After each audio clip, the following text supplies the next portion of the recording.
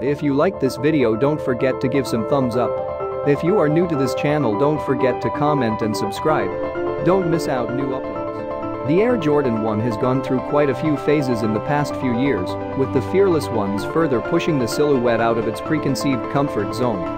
Each from the wild color blocking of Melody Ehsani to the dual-layered luxury of Edison, Chen has ostensibly had a long-lasting impression on the icon, and as it enters summer 2020, the pair is indulging tie-dye in what is one of the first graphic treatments the women's variant has ever seen.